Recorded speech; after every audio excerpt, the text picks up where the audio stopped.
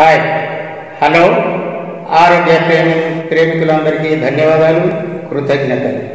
ఈరోజు మన సంస్కృతి ఎంత హీనపరిచిందో మనందరికీ కూడా తెలుసు. ఈ సంస్కృతి గురించి పూర్వీకులు చెప్పినటువంటి విషయాన్ని అందరు కూడా శ్రద్ధగా గ- ఈ విషయంలో జాగ్రత్త పడవలసిన అవసరం ఉన్నది ఈ అవసరం మన ఒక్కరిది కాదు మన అందరిది. మన భారతదేశ సంస్కృతి ఎంతో చాలా పెద్దది. దీన్ని కాపాడుకునడం మన సంపద. అనుకోని మనం దీన్ని రక్షించాలి. ధర్మాన్ని రక్షించిన వాళ్ళు ధర్మం మనని రక్షిస్తుంది కాబట్టి పెద్ద మనుషులకు చిన్నలకు అందరికీ ధన్యవాదాలు చెప్పుచు ఈ విషయాన్ని జాగ్రత్త వినాల్సిందిగా కోరుచున్నాం. ఈ మామిడాకు గురించి అందరికీ కూడా తెలుసు. బంగారం ఈ మామిడాకు ఏం పని చేస్తుందో తెలుసా? ఈ మామిడాకు పూర్వీకులు ఎందుకు ఉపయోగపరిచారో తెలుసా? దీన్ని ఎందుకు తోరణాలు కడుతున్నారు తెలుసా?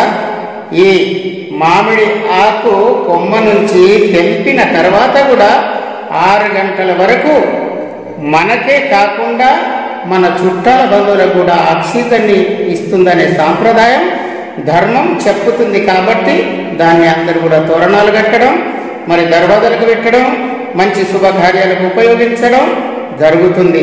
కావున ఈ విషయంలో అందరూ కూడా శ్రద్ధ వహించి పచ్చని తోరణాలే కాకుండా మనకు ఆక్సిజాన్ని ఇస్తుందనేటటువంటిది గమనించాలి. కావున అదే ధర్మాన్ని మనం రక్షించాలి. ధర్మం మనల్ని రక్షిస్తుంది. చూశారా బంగారం? ఇయ్యల్ల మనకు చెవులు ఎందుకు పుడతారో తెలుసా? చెవులు కంటి చూపుని పుట్టిన తర్వాత కంటి చూపిని పెంచుతాయి. కాబట్టి చెవులు పుడతారు. చూశారా బంగారం? ఈరోజు ముక్కు పుల్ల ధరించడం ఎందుకు? ముక్కు పుల్ల ధరించడం వలన దుర్గంధాన్ని బయటికి వదిలేసి సుగంధాన్ని మనకిస్తుందనే ఉద్దేశం ద్వారానే బంగారం ముక్కు పుడక ధరిస్తారు. ఈ ఆడవాళ్ళు గాజులు ఎందుకు పెట్టుకుంటారు?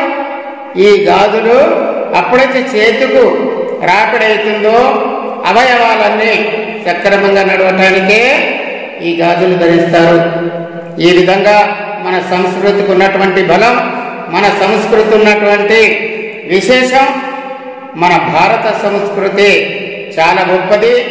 దీన్ని అందరు కూడా పెద్దలు చిన్నలు అందరు కూడా ఎటువంటి కొన్ని కార్యక్రమాల్ని కొన్ని సందర్భాల్ని బట్టి మన సంస్కృతిని కాపాడడమే మన ధర్మము.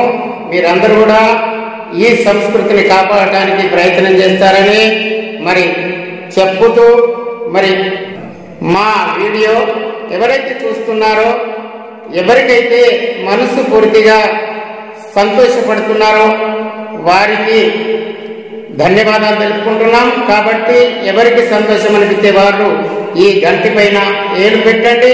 మళ్ళీ మీ ముందుకు మన సంప్రదాయం కొరకు మాట్లాడటానికి మళ్ళీ వస్తాను. శుభం. శుభం పోయి